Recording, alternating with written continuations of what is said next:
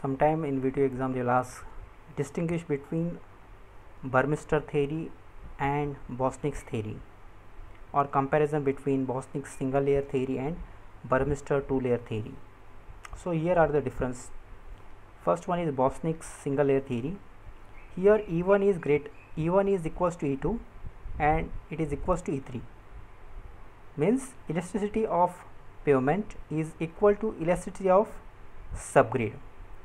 In case of Burmister two layer theory, here EP is greater than EB which is greater than ES.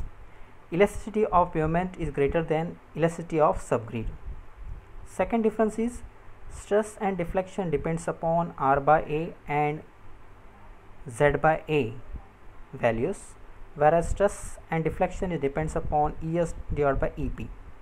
Third difference is maximum stresses may reach 70% of contact pressure whereas in the Burmister theory maximum stresses is 10% of contact pressure due to the presence of reinforcement layers.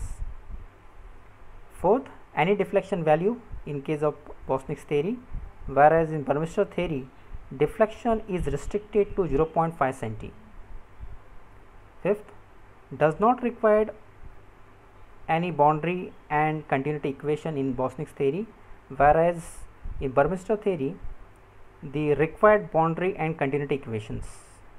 Sixth, thickness of pavement is required is less in Boussinesq's theory whereas thickness of pavement is also required less in Burmister two layer theory.